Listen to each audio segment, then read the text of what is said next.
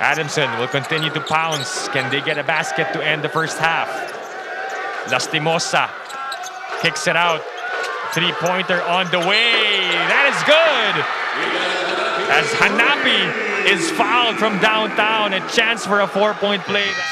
Nice, again, great breakdown from Lastimosa. Hanapi missed the previous one. Calibrated it correctly this time. Chance for a four-point play.